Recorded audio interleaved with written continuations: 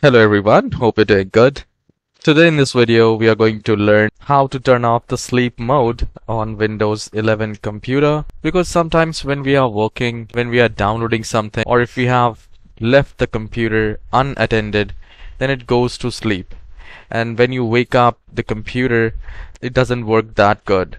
Let's learn how we can do that. So here in the search bar we can type settings or we can simply do a right click on the start icon and then go to settings.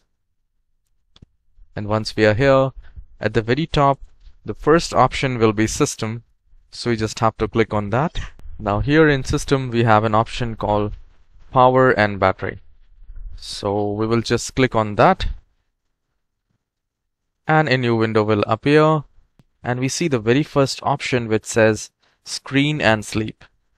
So once we click on that, we get on battery power, turn off my screen after 20 minutes. When plugged in, turn off my screen after 20 minutes. On battery power, put my device to sleep. So here the sleep settings are there.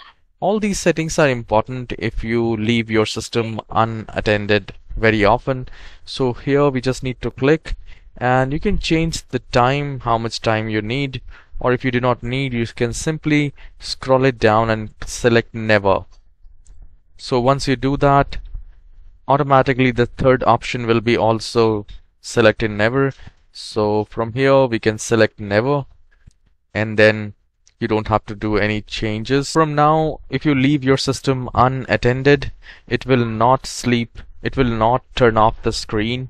Here in power mode my recommendation will be to select the balance mode. Once you're satisfied, then you can simply close this window. I hope this video has helped you. Please hit the like and subscribe. I'll see you in the next video.